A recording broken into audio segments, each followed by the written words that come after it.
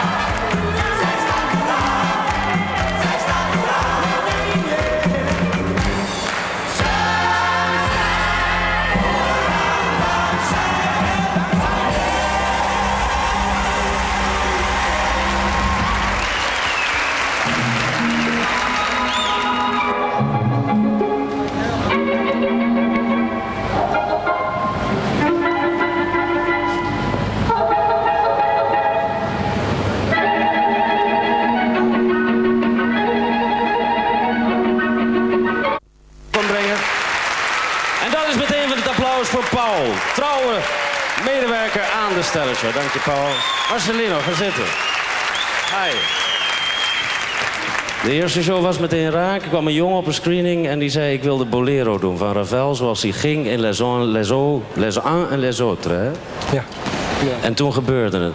Toen ben je beroemd geworden, want je was één van de mensen die de 50.000 gulden won. Wat gebeurt er nou, want dat weten wij kijkers nooit, daarna met je als je zo'n show hebt gedaan? Eh, toen ik thuis kwam stonden er heel veel bloemen, eh, kaarten, telegrammen. En op straat word je aangekeken. Hoe lang duurt dat, Marcelino? Nog steeds? Nog. Ja. Dus ja, dit was elke dag. Er zijn ook aanbiedingen gekomen, hè? want je bent zelf, als je een ballroomdanser, dat heb je als hobby. En je wilde één keer soleren met een ballet. En toch kwam er een aanbieding. Ja, van Penny Diare.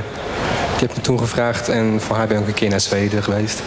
Ik meen dat op mijn bureau heb ik toen ook nog een aanbieding zien liggen... waarop stond of je met een symfonieorkest aan de gang wilde. Eh, ja, was ook geweest uit Groningen. Maar dat kon helaas niet doorgaan. Omdat ik naar Zweden ging. Heb je het op de band opgenomen? Ja, natuurlijk. Pas 10.000 keer bekeken. Tienduizend keer. Wij hebben het één keer kunnen zien. Ik nodig u uit naar een van de mooiste wensen, dat moet ik zeggen. Je hebt altijd mooiere wensen, minder mooie wensen. En dat is dus niks pijnlijks voor de deelnemers waarvan ik dat niet zeg nu. Ik zelf heb ervan genoten, samen met Shirley Zweres. Hier is hij nog één keer. Kijk naar een fantastische bolero van Ravel.